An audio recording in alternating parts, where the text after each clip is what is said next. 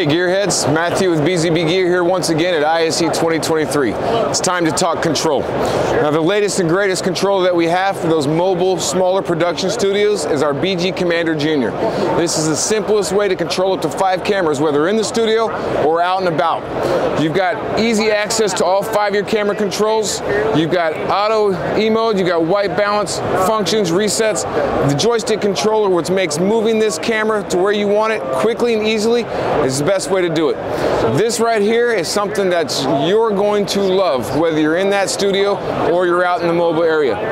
You can connect this and get everything that you need done right here, quick and easy. Simple as a single cable install through the PoE. But we've actually got two steps above that in case you're doing something a little bit more professional. Let's go check it out. If you've got a few more cameras and a bigger studio and budget, then the next step up is our BG Commander controller.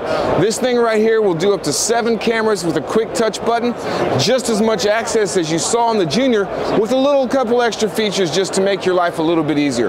Whether you want to control how quickly things are moving, your white balance, your gain, your autofocus, auto exposure, all at a touch of a button. It doesn't get any simpler than this when you're trying to control seven cameras at once. But there's still one more step up for the really high-end productions. And that's going to be our brand new BG Commander Pro.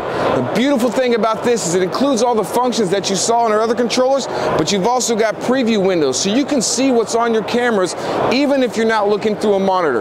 This will help serve that function and make sure you've got access and control as you need it, as you want it, and where you are. I'm Matthew, this is BZB, and we are Control. Control.